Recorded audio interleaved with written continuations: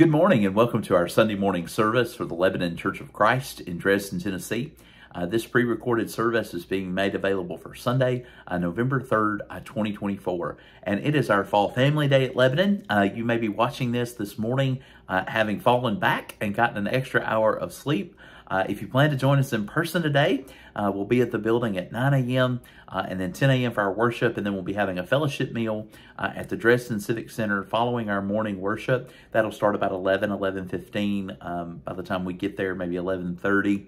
Uh, and we'll have that time of fellowship together, and there will not be an evening service uh, at Lebanon today.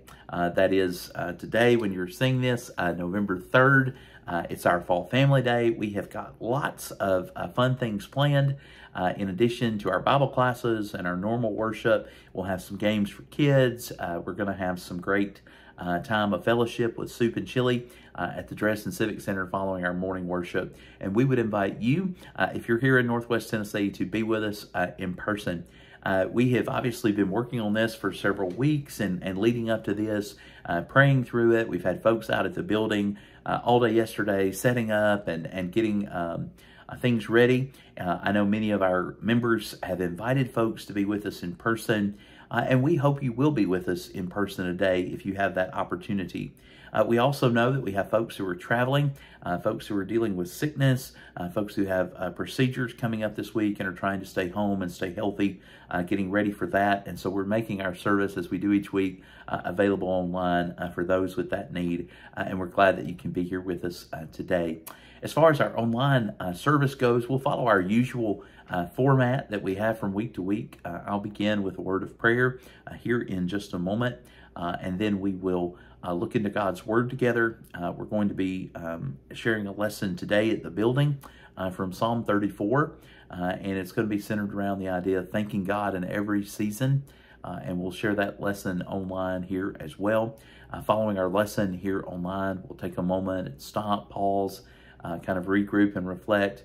Uh, and then I'll offer a couple of prayers if you're taking the Lord's Supper uh, at home uh, or in the nursing home, hospital, whatever situation you may be in, hotel room watching uh, with us today. Uh, following that, we'll have some announcements uh, and be dismissed in prayer. Again, if you're watching this early and you still have time to be with us for class at 9, worship at 10, we would love to see you today. Also, if, if you're a person who worships elsewhere and maybe sometimes joins us on Sunday night uh, or sometimes uh, just follows along here online uh, during the week, just as kind of an extra uh, encouragement, uh, please let folks know uh, that we won't be having an evening service tonight. That'll just affect tonight, Sunday, November 3rd um, after our time of fellowship today, we'll clean up uh, and have prayer together and, and, be there together at the Civic Center, and then we will not meet at the building tonight. We'll have a note on the door uh, to let folks know, uh, but there may be people who uh, don't see social media uh, or don't see uh, this recording that you know who you may need to reach out to, and if that's the case, please help us out with that and let them let them know. We've been announcing it, but sometimes those things can get uh, overlooked or we get the date wrong or something like that. So uh, let folks know 9 and 10 today, uh, no evening service.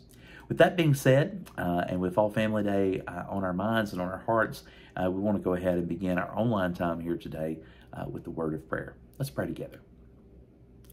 Our Father in heaven, we're grateful for this day and for this new season of life that we find ourselves in, this new month and this new week that lays before us. Um, Lord, we're very uh, excited for the many activities that we have planned for our worship today in person. Uh, we're thankful for all the people who have gone in into the decorating and the cooking and the preparing for worship and preparing for our children's classes and um, those who have uh, cleaned and prepared our building and, and do that for us each week.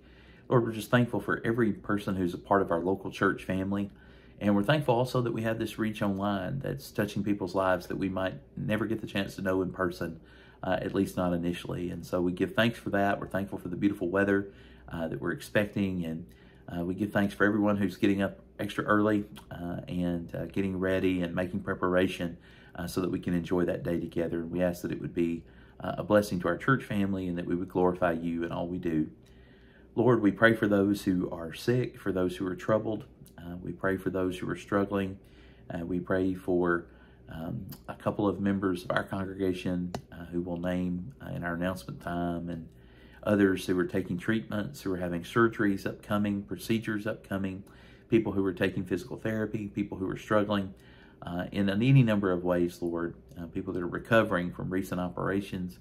Uh, we just ask that your hand would be with them, that your grace and your mercy uh, would be felt by them, and that the people around them that are helping them, the medical professionals and family and friends and those supporting them, uh, could be a source of encouragement this week. We pray, Lord, uh, in this season, especially for our country, and as we are looking at the election on Tuesday, not only the presidential election, but uh, many elections locally and up and down the ballot at the state level, we just ask that um, we would all um, uh, behave in ways that would glorify you, uh, that regardless of the outcome, that we would point to you and put you first. Um, help us to uh, be able to live and commune with our neighbors in ways not only that we could influence them for our views, but ultimately that we could influence them uh, and bring them to you, bring them closer to Christ. Lord, we're grateful for those who serve in our community. We're thankful for our teachers and social workers, law enforcement members, emergency workers, uh, social workers, counselors, those who are working in ministry in various ways. Uh, we're thankful for the parents and, and all those who are um, getting up every day and serving, uh, sometimes without attention, sometimes even with criticism. And, and Lord, we ask that you would strengthen our hands as we seek to serve one another. And by serving one another, let us be uh, serving you. We pray especially for uh, our missionary families that we support at Lebanon. We pray for those who are uh, working in different countries throughout the world where the church is not present or certainly not strong. Um, we pray, Lord, for those who are here in the States, who are in places where um, their conditions are harsh uh, whether uh, the the uh, climate of the place or the, the the people there being um, less exposed to the gospel than we are in our area. we ask for hearts that would be open to hear this message. We pray for those like the Carter family who are working in prison ministry. we pray for those like the Mosier family who are putting so much content online and seeking to reach unreached peoples uh, in that way, seeking to, to open hearts to the truth of your word. Uh, and Lord, regardless of, of uh, what forms these missions take, whether they're uh, physically present, like the Taylors in Japan or the Smiths in Alaska, um, we pray for those um, who are touched by their efforts, uh, the individuals that they meet, the people that they worship with, the people that they seek to teach, the people that they seek to influence. And we ask that you would strengthen these families. We pray also for those who are um, training for ministry at Bear Valley and Freed-Hardeman and other works that we've had a part in through the years. Um, we just ask that you would continue to have those places where people can uh, be prepared to serve you better and more fully from day to day.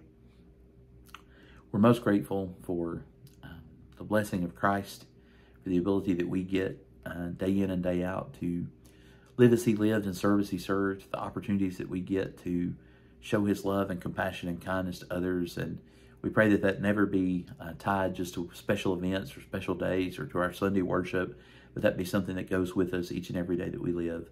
We're thankful for the forgiveness that we find in Christ and through Christ, that we are not only forgiven of our sin, but given uh, the strength and the comfort uh, through your word and through your spirit that we can continue to live by faith and grow and mature from day to day. Be with us and bless us throughout the events of this day and throughout our time here online. It's in Christ's name we pray. Amen. Amen. Well, again, we're glad that you are here uh, and glad that you can join in uh, in our time uh, today. As I mentioned, uh, it's Fall Family Day. We'll be at the building here uh, in a little bit and uh, be able to enjoy this day of worship together and, and look forward to that.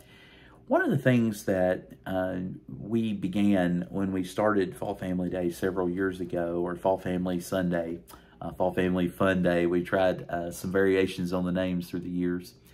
Uh, but one of the ideas, of course, is it kind of falls, usually uh, we try to do it in late October, early November, uh, there's a lot going on, obviously, in the world um, in this time. We think about Halloween and, of course, Thanksgiving and Christmas to come.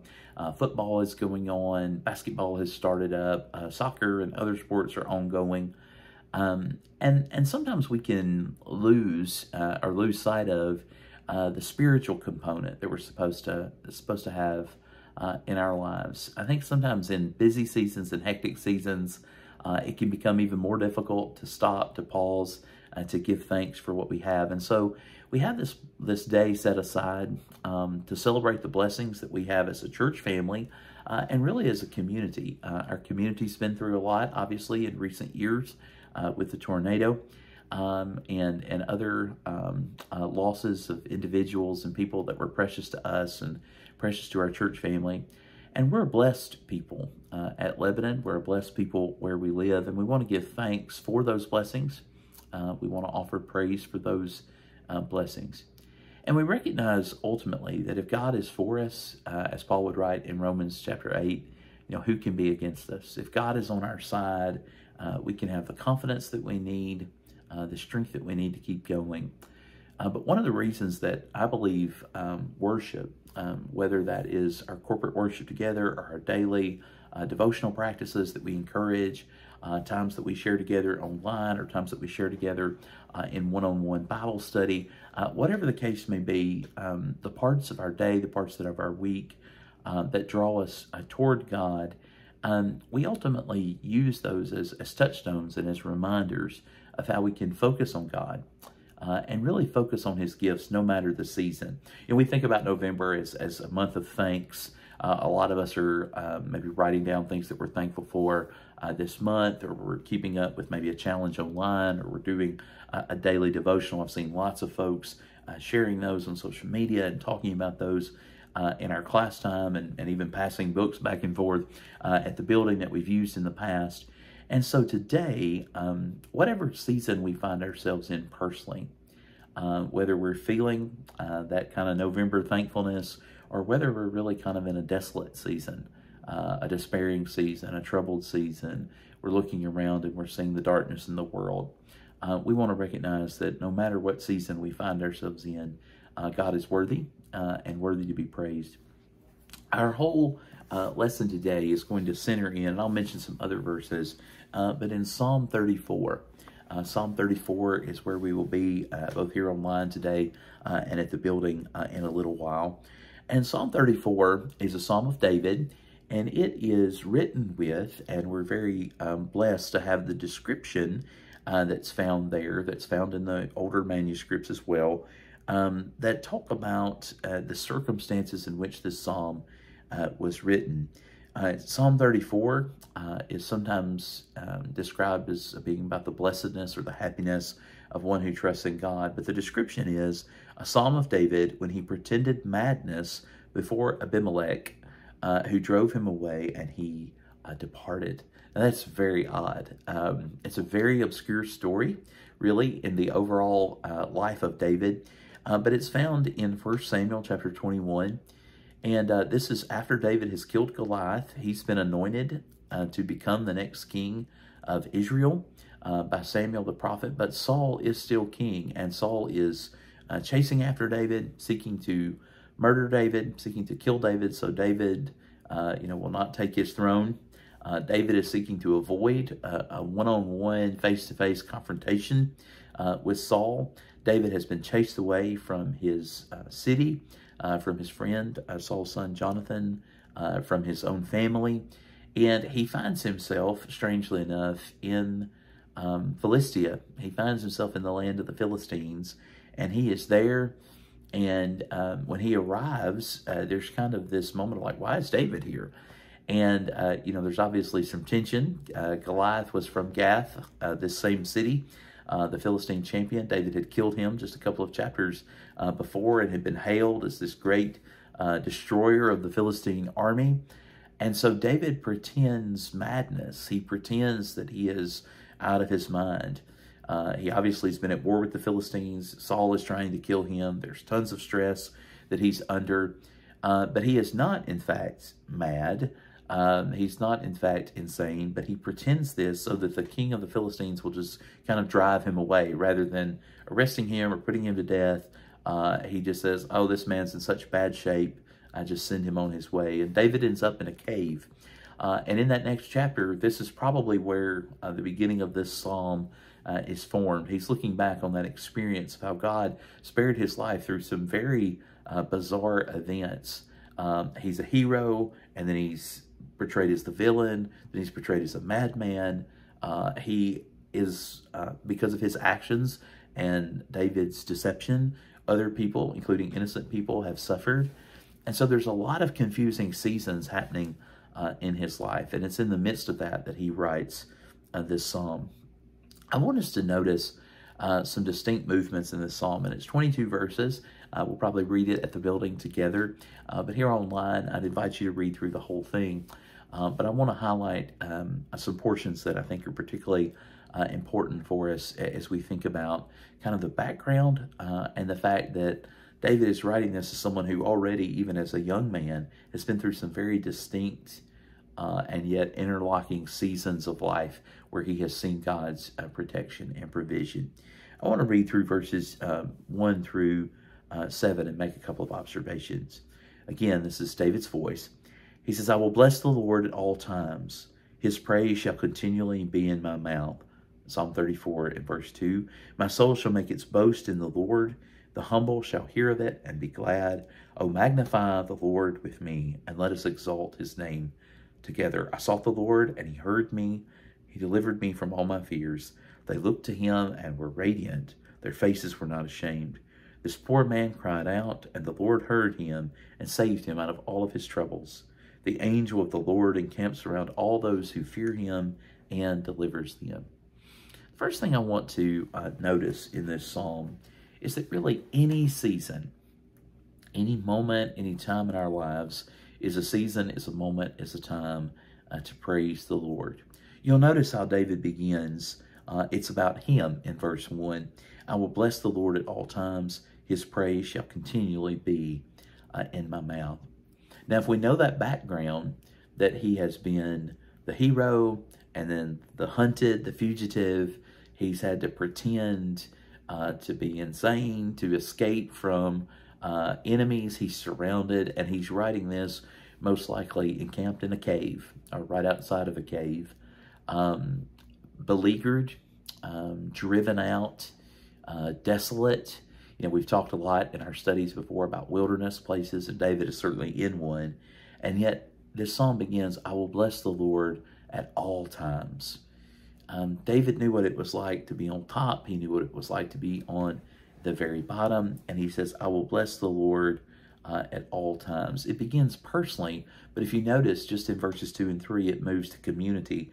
I will bless the Lord at all times. His praise shall continually be in my mouth. My soul shall make its boast in the Lord. Even though my circumstances are tough, uh, I'm in hardship. I'm boasting in the Lord. Notice verse uh, 2 in the second portion. The humble shall hear of it and be glad. Oh, magnify the Lord with me, and let us exalt his name uh, together. Praise begins personally, but it very soon uh, moves to this invitation to communal praise. Think about the times that this happens in Scripture.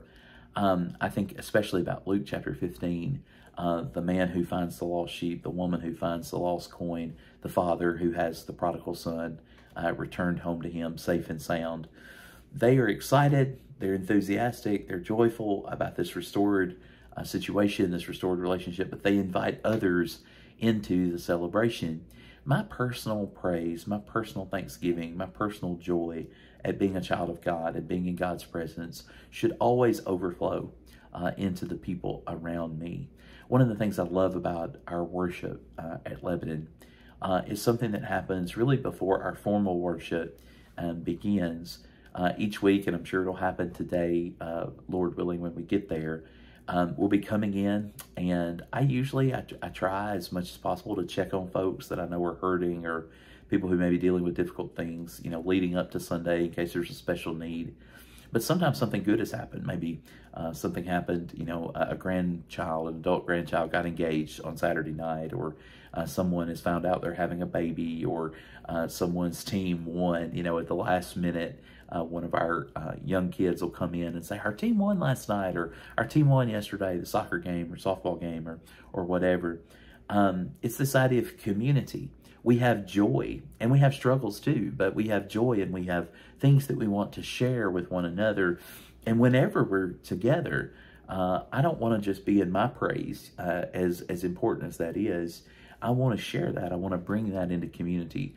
Uh, the Lord has blessed me in all times, uh, David says, but now come magnify, come lift up, come exalt the Lord uh, with me. Um, when I know that I am redeemed, when I know that I'm in a saved condition, uh, when I know that I have been blessed by God, that should overflow uh, from my personal um, joy and my personal excitement and my personal commitment to God. That should flow into the community. You know, a burden that we share is lessened, a joy that we share is magnified. Um, Paul will write, of course, in Romans chapter 12 and verse 15, uh, rejoice with those who rejoice, weep with those uh, who weep. Um, part of the, the beauty of God's people, of being a church, a, a, group of people that are called together to worship and to, to live life together in community, is that we know each other. Um, the good and the bad, uh, the hard and the good stuff. Uh, the good hard stuff even the the quirks of personality the relationships that we have um, when i'm going through something hard I need to be able to share that and, and we bear it together. When I'm going through joy and celebrating, we need to be able to share that as well. Uh, the Lord has blessed me, David says. Now come magnify the Lord with me. I want to praise the Lord, and I want you to praise the Lord uh, with me because we serve an ever present God. There is no need for uh, a special occasion uh, to magnify him, to praise him, to lift him up. I love our Sunday worship. Um, it's one of the highlights of my week, even though it's busy and hectic, and a lot of times it's the one who's, who's preaching and teaching. It can be hard to focus and to concentrate because uh, we're trying to, to check on others and care for others. Um, it's still one of the highlights of my week. I love it when we sing together. I love it when we pray together. I love it when people come in and, and they share, you know, so and so is is having a surgery this week. Can we pray about that? Or so and so is having treatments and they're really struggling. Can we pray about that? Or uh, someone in our family is is going through a hard time, a divorce, or dealing with addiction. Can can we talk about that? Can we pray about that? And we take those things not just to one another, as important as that is, but we take them to the Lord. Any season is a time for that. Not just on Sunday, not just on Fall Family Day, not just when we come together formally as a church, but in any and every season, we have a reason to praise the Lord and to share that praise uh, and that joy uh, and even those hardships with uh, one another. Um, Jesus, when he's talking to the woman of Samaria in John chapter 4, the woman that we know as uh, the woman at the well, um, when they get kind of to the, the nitty gritty of her situation in her life, she very uh, much like we would do, tries to change the subject and talk about worship. Uh, you know, the Jews say we have to worship in Jerusalem. We, you know, our our fathers, our ancestors worshipped here on this mountain. Um, you know, this is this is what matters, like where we worship and how we worship. These were the divisions of their day, just as there are divisions uh, much in our world at times. And Jesus shuts all that down. Uh, he shuts all that down by saying, you know, God is seeking those who worship in spirit, those who worship uh, in truth. It's not going to be a physical location. It's not going to be one certain group of people uh, because of their ethnicity or because of where they live or because of the language that they speak. All people uh, who are filled with God's Spirit and are aware of the truth of God's Word, uh, they can worship anywhere. Um, that's one of the beautiful things about New Testament worship um, the idea that, that in this age that we've been given to live in, uh, and I, I, have this globe here. I, I, noticed last week I had moved it over a little bit and it was out of the frame, but it's here every week. And I, I try to think about, um, particularly back when uh, the Mosier family was in New Zealand there. Um, and of course, now we have Alaska and we have Japan uh, as well. The idea that, that everywhere people are praising God, any season, any place, uh, is a season to praise the Lord. David reminds us uh, of that. Even in the cave, even in the lowest point, it's a time to praise the Lord. And I think it's also, and this is kind of the verse we've used as a, as a theme for today uh, with Fall Family Day in verse 8. It's also good to remember that uh, we thank God not just by uh, the, the acts of worship that we undertake on Sunday, but we thank God also and we appreciate and we glorify Him uh, through enjoying the creation that he has made. Let's look at verse 30, uh, excuse me, uh, Psalm 34 and, and, verse 8. Uh, verse 8. Oh, taste and see that the Lord is good, and blessed is the man who trusts in him. Oh, fear the Lord, you his saints. There is no want for those who fear him. Young lions may suffer hunger, uh, but those who seek the Lord shall not lack any uh, good thing. Taste and see that the Lord is good. Those are sensory words. Taste and see that the Lord is good. Um, today, uh, Lord willing, we will have some great uh, food at our fellowship meal uh, after our worship this morning. And we will taste that food, we will see that food. Even before we uh, can see it, we will smell the food. Um, we will we will know that it's there. We will be uh, having anticipation of, of participating in that meal. Uh, you may have prepared something uh, to bring or, or someone that you love that'll be at our in-person service may have prepared something and they'll smell it in their home and it'll be in their car and um, you know we'll just have this feeling of joy. Even at the building this morning as we come in um, we'll have that ability to, to share in fellowship together. Uh, and it's a sensory thing I think a lot of times, um, sadly, Christians um, in our in our modern sense have overcorrected in an effort to get away from sensuality or uh, a corrupt use of the senses, whether that's uh, gluttony or sexual immorality or drunkenness. We've swung too far the other way, and we've we've created this um, uh, sense in which we think of um, our senses or enjoying things that are physical uh, as bad. But our senses are gifts um, that we are given. Um, and we're given these gifts to experience life and then to praise God for those experiences, to praise Him for uh, His goodness, um, to taste and to see that the Lord is good. Um, have you ever been in a situation where someone was describing something that just sounded wonderful to eat? Um, and you might even have used the expression, I can almost taste it you know, they were describing the chocolate chips or they were describing uh, the smell of the coffee or the hazelnut creamer or whatever they were describing. And, and you would say, I can almost taste it. You know, I can, I can remember tasting that before, smelling that before. Um, and it even causes a physical response. That's what worship should feel like. Uh, that's what the experience of glorifying God should feel like. That when we share in that together, um, we're reminded that when we're without it, we lack something we understand that physical hunger, that physical thirst indicate a lack in our lives. Um, I pray that no one watching this today has ever been truly, truly uh, hungry to the point of, of um, it being a, a medical problem uh, or thirsty to the point of it being dehydration and a, a serious medical problem. But even if we haven't had those experiences, we know what it's like to hunger. Uh, we know what it's like to have worked out maybe in the yard all day uh, and to be tired. And also, we've been working and we've been staying busy, and then we realize I am very, very hungry. Or maybe we've been uh, playing a sport or out on the lake and we've been in the sun and we realize I need to drink something. I'm really thirsty. My mouth is dry. Um, I, I, feel I feel um, I feel that I need a drink. I need something cold uh, to drink, a Gatorade or water, whatever that is, uh, in order to, to quench this thirst, to take away this need that my body has uh, for hydration.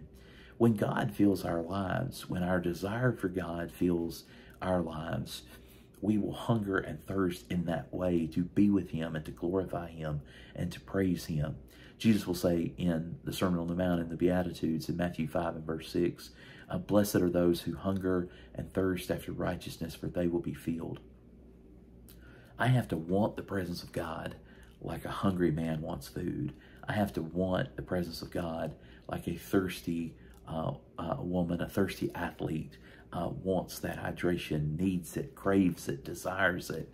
That is not a sin. Um, that is a sign that we were created with desire. Our desires can be misfocused. Our desires can be misplaced. We can abuse even food or, or drink, certainly. Um, many other desires, of course, can be abused or handled in the wrong way. But desire itself is something that draws us to a need. And ultimately, as someone who's created in God's image, who is trying in my deepest longing to be near to God and back with God and close to God, um, as someone who wants to see the image of God, uh, who wants to bear that image back to Him, uh, so to speak, uh, I need to long for that. Uh, it needs to feel like an ache. It needs to feel like a hunger. Um, and that hunger is filled um, by worship. That hunger is filled by being in God's presence and by experiencing the good things uh, that He has made. Um, one of the things I think we sometimes uh, forget is that the idea of, of fasting uh, or the idea of, of withdrawing is always meant to be um, counterbalanced with celebration and feasting. Um, we think about breakfast to break the fast. You know, we fasted through the night in our sleep and, and we're breaking that in the morning. Um, the idea of, of, of sharing in those things and celebrating those things, uh, that's present in this, in this psalm. David says, our longing for God needs to be like our longing uh, for food, that it needs to be like our longing to see beauty um, and to experience that in a sensory way. It's super important. Um, uh, I think I, I, love to read and study uh, as much as most people, probably more than most people. Uh, I love the mental part of faith, but it also has to be something that's experienced, that's lived out. Uh, God's goodness, I can read textbooks about it. Uh, I can know all the verses about it, but it also has to be something uh, that I embrace, that I experience in my own life. Um, and this happens when we see what God has made, what He has created. Um, I think about the beautiful things that we witness day in and day out. The season is so beautiful to me uh, where we live and being able to see colors changing, um, even to see a great athletic display. Um, I'm so proud of our student athletes and the things they're involved in, uh, and to see the feats that they do, the bodies that they have that have been made um, in God's image and the way that they have used them uh, for His glory um, to show uh, what they're capable of. Uh, that's a wonderful thing uh, to see a child and to see a smile and to hear a laugh, uh, to hear a beautiful piece of music, um, to hear a hymn that, that reminds us and, and the blessing of memory. Taste and see that the Lord is good. Um, the Lord is good. Uh, we don't have to fear that. We don't have to fear celebrating that goodness. We want our desires to be fulfilled in, in ways that are pleasing to Him, but desire itself is something that's God given. Uh, and David invites us to remember that. I want to mention, um, finally, as we're here and looking at this text together, um, this idea that this is not just something that happens when things are good. Um, if we know the context of when this psalm was written, we know that David is tasting and seeing that the Lord is good, even though he's probably not eating that well uh, even though he's not, you know, uh, faring sumptuously every day, like we think about the rich man in Jesus' parable. This is in a lean season in David's life. And yet he says, the Lord is good to me. The Lord has been good to me. I have experienced the goodness of the Lord. Uh, I have known him. Um, I have um, shared time with him and worship with him. I've invited him into the community as I've led worship for others um, and, and assisted others in coming close to God. I believe David's writing was a way of his worship. And yet, even in the dark times, even in the cave moments, um, God is worthy um, of our praise, and He is a God who sees and hears us. Let me read the last a couple of stanzas of this psalm, and we'll make some closing observations. We get in verse 15. David writes, The eyes of the Lord are on the righteous, and his ears are open to their cry. The face of the Lord is against those who do evil, to cut off the remembrance of them from the earth. The righteous cry out, and the Lord hears and delivers them out of all their troubles. The Lord is near to those who have a broken heart, and saves such as have a contrite spirit. Many are the afflictions of the righteous, but the Lord delivers them out of them all. He guards all his bones, not one of them is broken. Evil shall slay the wicked, and those who hate the righteous shall be condemned. The Lord redeems the souls of his servants and none of those who trust him will be condemned or put to shame. I want to be um, completely faithful and, and honest to the spirit of the text when I when I say this, but I think sometimes um, we forget that the people that we think have um, these great stories in Scripture, they have a lot of darkness too. Uh, David, uh, thankfully, is a very three-dimensional character in Scripture. He, he has good and bad, darkness and light that's brought out. But even um, even the people where there's less darkness that's emphasized, or maybe we just have less detail about their lives, they went through things, uh, hard, difficult things, uh, and in a time in which many things that we consider ordinary are easily um, easily corrected, or easily fixed, or easily healed, uh, could be life threatening, deadly, and destructive. Um, David did not write this psalm uh, at the high point of his life. He wrote it reflecting on one of the lowest points of his life. And yet he constantly asserts that the Lord is good, that the Lord is worthy of praise, that the Lord hears the righteous. We need to remember that David in this moment is an anointed king, but he is an outlaw. Um, he's an outcast. He has no kingdom. Uh, he's completely alone uh, at several points in this story, which is very unusual for him. Uh, at this point in his life, he's usually surrounded by wives, or Jonathan is there, or the high priest is there, or Samuel is there. But it, at several points in this narrative, he's alone and fleeing, um, enemies all around. And yet he still talks about the Lord hearing him and answering him in this moment.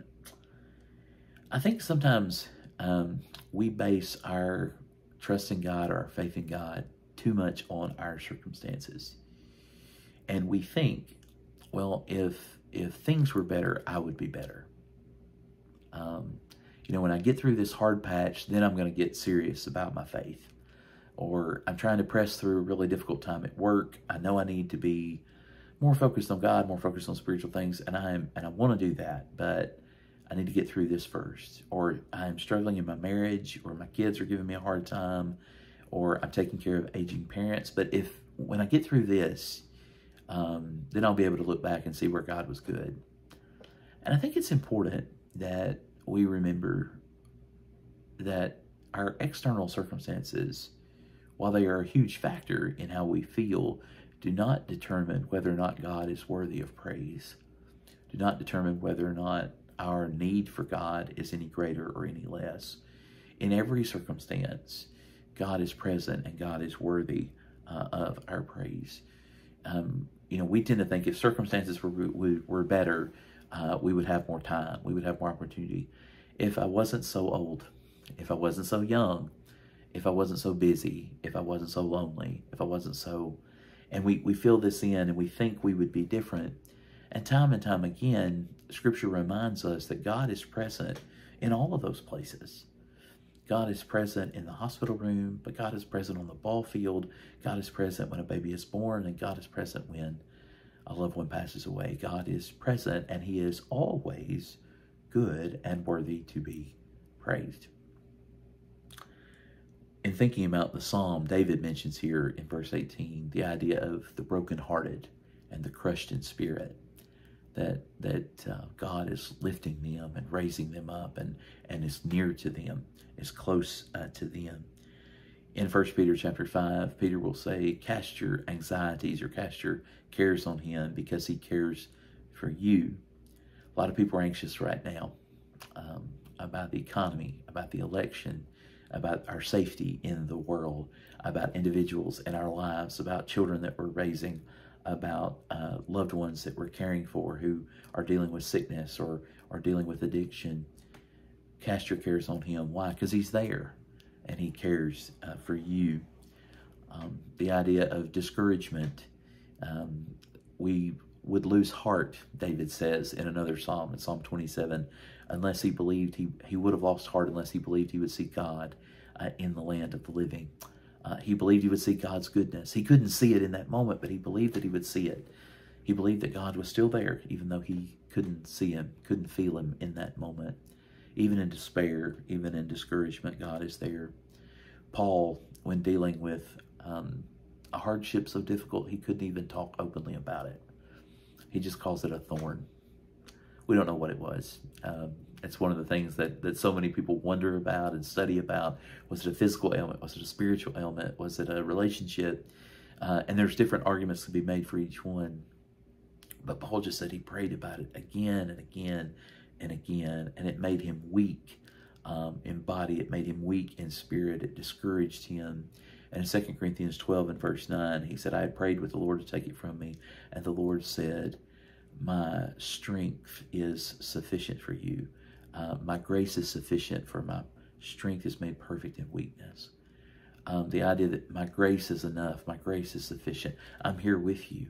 It's a burden you're bearing. It's a burden you're going to have to bear. I, I'm not going to take it from you, but I'm going to empower you to bear up under it. I'm going to give you my strength, my all sufficient strength to carry you through it. I've heard people say, um, and they'll use that same language, uh, whether they recognize that it comes from Paul or not. You know, that child is just a thorn in my side, uh, or this sickness is just, you know, it's just a burden to me, uh, or I just can't quit this habit. I just can't quit um, this addiction or this um, this relationship that that just seems to be involved in a in a cycle.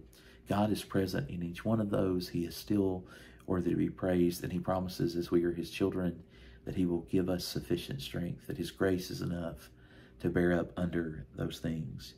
Jesus will say, Come unto me, all ye who are heavy laden, and I will give you rest. Weary and heavy laden. Matthew 11, uh, 28.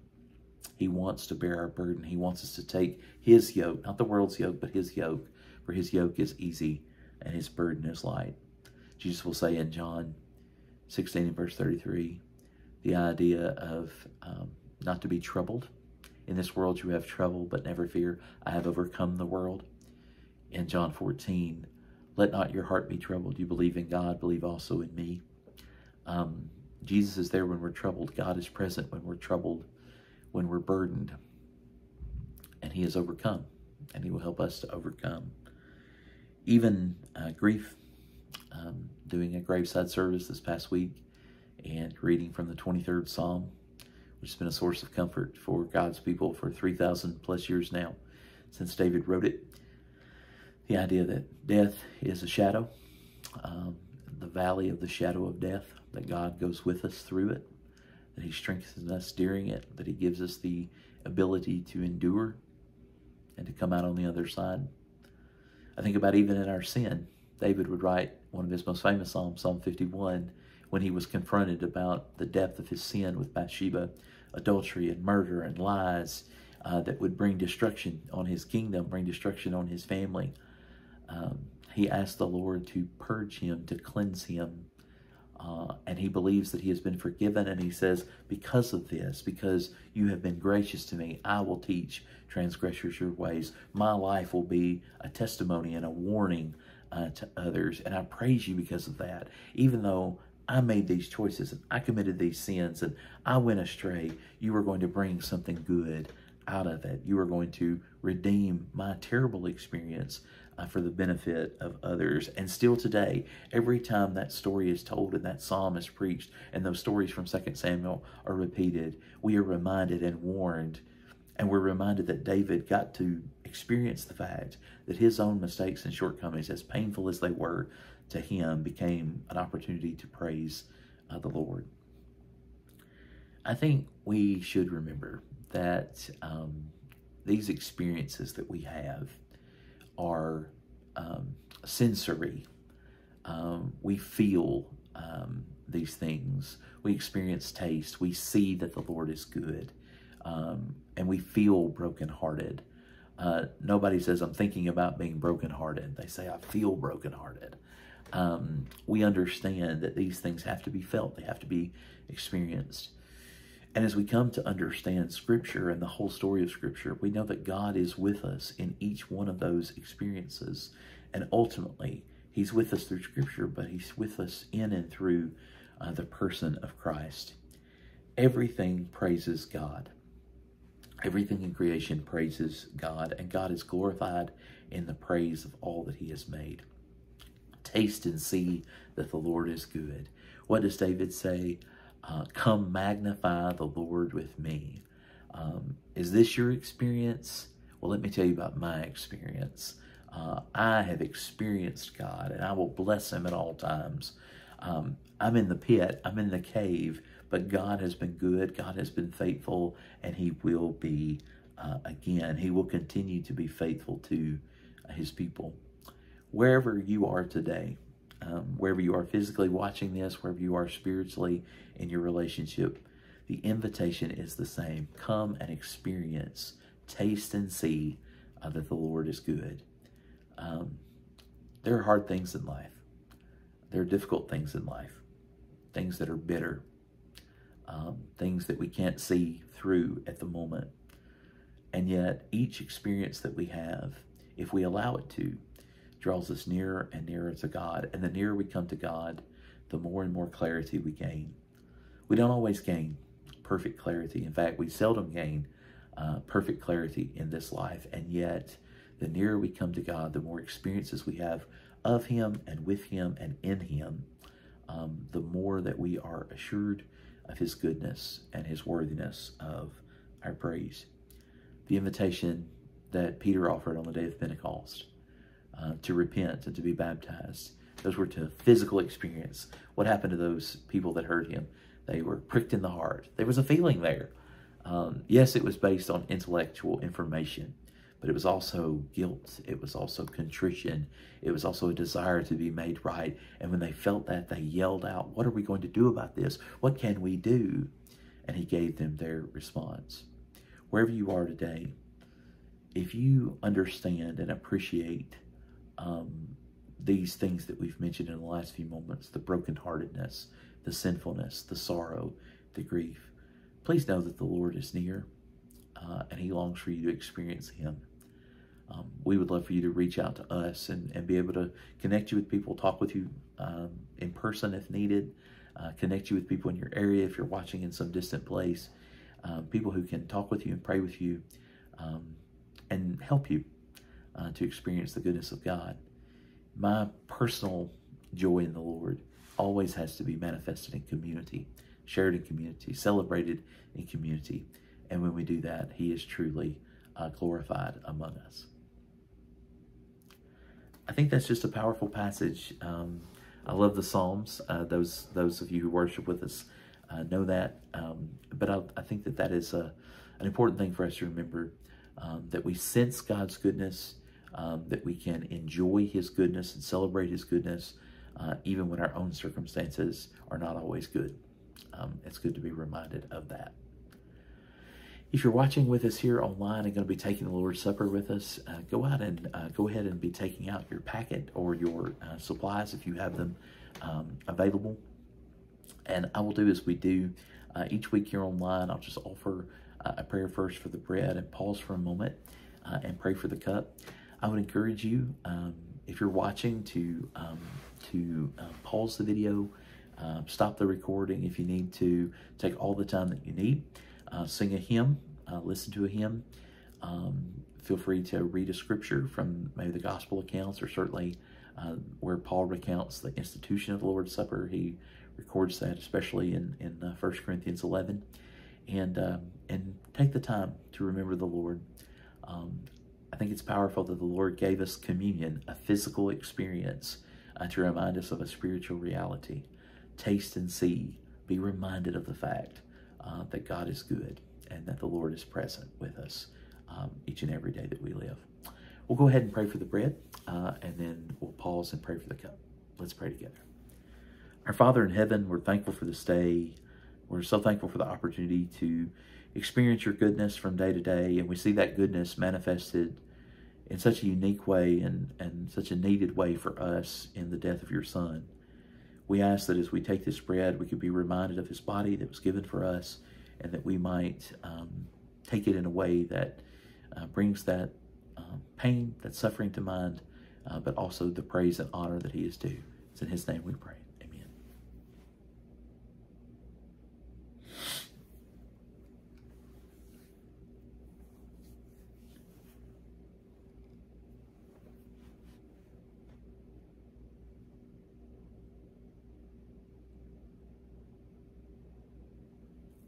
And let's pray also for the cup at this time. Let's pray together. Our Heavenly Father, we're likewise thankful for the cup, uh, for what it represents to those of us who are believers and followers in Jesus as we see the blood that was given on the cross for the sins of the world. Lord, we ask that you would open our minds to remember and to proclaim the Lord's death, to see the eternal importance of what took place at the cross. And in taking this each week and each time we gather, we proclaim his death until he comes again. It's in Christ's name we pray. Amen.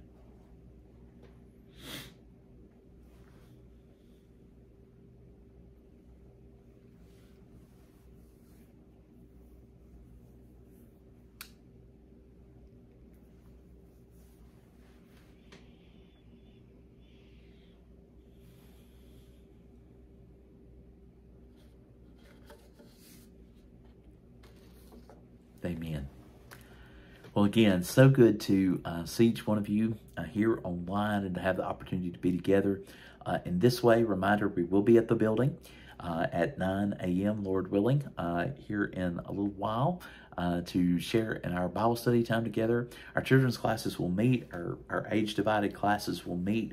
They're all going to be studying various aspects of God's power and our thankfulness and gratitude today. Uh, and then at 10, we'll have our combined worship together. And following that, we'll move up to the Civic Center.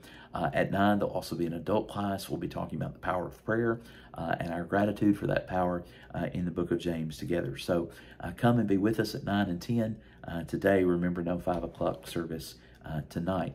Let me mention um, a few announcements that we have, updates on folks who are struggling with different things, and some things to celebrate as well. Uh, today, Sunday, uh, November 3rd, is Lenny Humphrey's uh, birthday.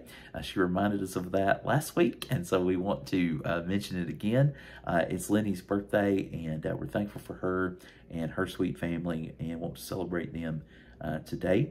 Uh, coming up this week on November 6th, that's Wednesday, uh, Paul Caltagirone will have his birthday. Paul's a little bit older uh, than six, uh, but Paul will be celebrating his birthday that day. And then on uh, on Saturday, November 9th, McKinney Caltagirone will be having his birthday. So we'll have Dad on Wednesday the 6th, and then McKinney will be on Saturday the 9th. And we certainly want to wish Paul and McKinney both a happy birthday uh, this week. Uh, we do have several new updates from our missionary families. We mention them in prayer uh, each week, of course, and, and we try to print out or, or email uh, as you prefer the updates. Um, definitely some updates with uh, the Taylor family, been, as we've mentioned, um, some baptisms recently in the congregation there at Matsudo in Japan. Uh, and so we're thankful for that. I want to celebrate that and uh, an update from them. Uh, also, some updates from uh, some folks getting ready to fundraise and get ready for uh, 2025 uh, and continue on in their work. So we have those at the building. As far as church news um, and, and different things that have been happening, we've had several of our um, students who've been awarded different awards in the past week, both with the end of the uh, six weeks with elementary uh, and as well with the middle school and high school. And so we'll announce some of those in person today, and we certainly want to be uh, mindful of them. If you have an update uh, that needs to be shared, uh, just let us know, and we'll try to share that in person uh, or online as needed. do want to update you about some folks who are um, struggling with health and and trials of various kinds with with their physical health and situations they're facing. Larry Irvin uh, who we announced uh, last week would be having uh, a bypass surgery. They're actually going to uh, go in this week on Thursday, uh, Lord willing, at St. Thomas West in Nashville, and he will have some stents done. they're hoping that that will be effective and will not have the, the long-term recovery time uh, that that more extensive operation would have. So they're going to start with stents, and hopefully that will be uh, just what Larry needs and will be helpful uh, for him. So remember Larry and Jennifer this week uh, as they're uh, facing that. Uh, also, want to remember Judith Bradbury. She had an outpatient procedure uh, last week and is recovering at home. Um, um, just uh, want to continue to remember her. I was able to visit with her uh, yesterday, and she's improving. And want to remember Judith, and of course, want to continue to remember Lee Quinn this week as well. I want to continue to remember Gail Barker, who is gaining some strength, and and want to continue to remember Gail as she's been dealing with some some health issues. Also, uh, Gail's sister-in-law, uh, Don's sister, Barbara uh, Castleman, is having a hard time with her health uh, at this time, and we want to remember her, uh, Barbara Castleman, in our prayers this week. Uh, Greta Hughes is improving and gaining some strength. I was able to visit with, with Greta this week, and she's improving day by day and gaining some strength, and thankful for that and the progress that she has made there. we also want to remember Pam English. Uh, Pam went uh, this past Thursday uh, and she'll be taking a new medication for her heart uh, and is also going to do another uh, long-term heart monitor test. And so uh, they've had some issues with the technology aspect of that, um, but they're going to get that set up, and uh, she'll be taking that over several weeks to monitor uh, what's going on with her. And we certainly want to remember her uh, and Randy as well at this time, as they're both uh, dealing with a lot of health issues uh, still. Uh, Carolyn McIntyre uh, will have another follow up on Tuesday with her eye. She's had a little bit more trouble with that, and but doing doing okay.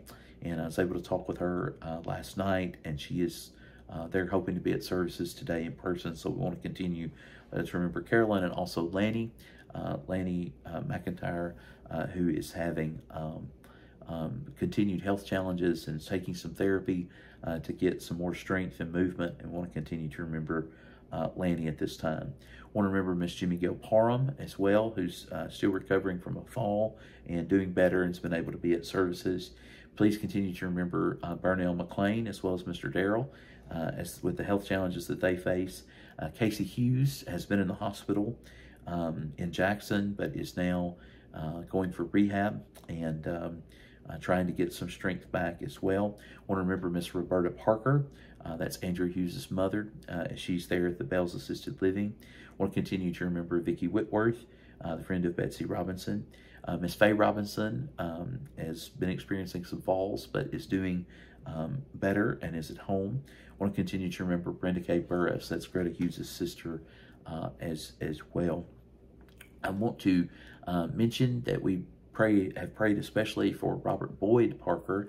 Uh, that's Andrea's dad, uh, who lives down in Fayette County in Somerville, and uh, he had had some pretty extensive tests done uh, to try to rule out some things with his health, and got a good report from those uh, this past week. And I was able to talk with Andrea, and uh, they were thankful for that, and I want to continue to remember him and his wife Barbara as they're dealing with his health challenges uh, right now, but thankful for that. Thankful for that good news uh, on that front. Uh, we want to continue to remember those in our community who are dealing with sickness. There's large numbers of that. Uh, we have a lot of folks who are traveling also. Um, obviously, we remember our country and our community this week uh, as the election arrives Tuesday. Remember all those who are working uh, in the election as well as, of course, the candidates and our country and community as a whole. Uh, I will be glad to see the signs down.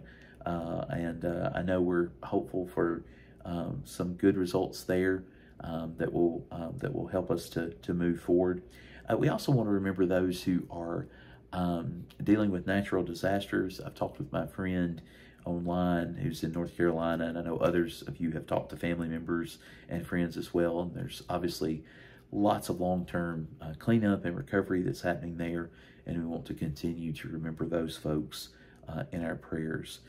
Uh, I hope that you will be able to be with us today uh, for Fall Family Day. If you're watching this, first thing, I'm filming it uh, uh, and trying to get it up early, early, so we can get out and face the day together. Um, but if you're able, um, come and be with us. Um, if you're worshiping somewhere else, and you get out and you say, ah, I wish we could have been in both places, come and eat with us. We would love to have you. Uh, we'll have our worship at uh, 10 a.m. Our classes will be before that at 9. Uh, classes for all ages, worship at 10.